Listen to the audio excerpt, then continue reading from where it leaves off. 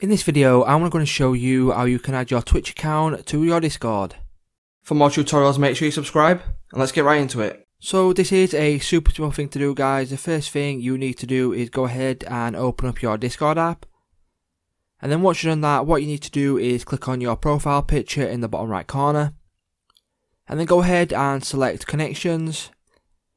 And then once you've selected connections, what you need to do is click on add in the top right corner and then go ahead and select the one you want to go ahead and connect. So for this example and this tutorial we are doing Twitch TV. So once you've selected add, what you need to go ahead and do is click on a browser, whether that's Google Chrome or any browser you wish to use.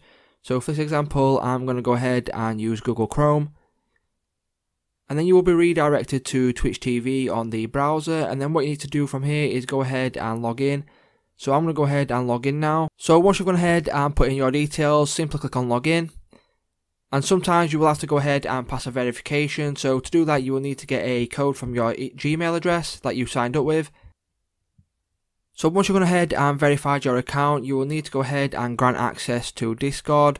So all you need to do is scroll down to the bottom and click on authorize and then once you've clicked on authorize as you can see my discord and twitch has now been connected so it's just that simple guys, if this video did help you out, please don't leave a like, comment, subscribe to the channel, and I will see you in the next one.